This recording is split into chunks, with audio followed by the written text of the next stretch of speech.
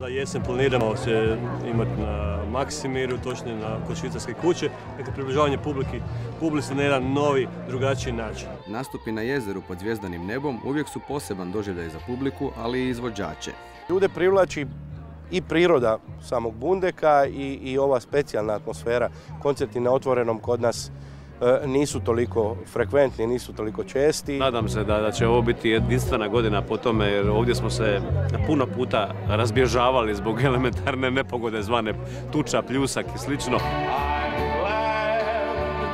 Na Bundeku ovoga ljeta, među ostalima, nastupaju opera Hrvatskog narodnog kazališta, Gradsko kazalište komedija, jazz orkestar i tamburaški orkestar Hrvatske radiotelevizije, a posebnim će programom 11. srpnja uz projekciju novog crtića Zagreb filma biti obilježen Dan Nikole Tesle.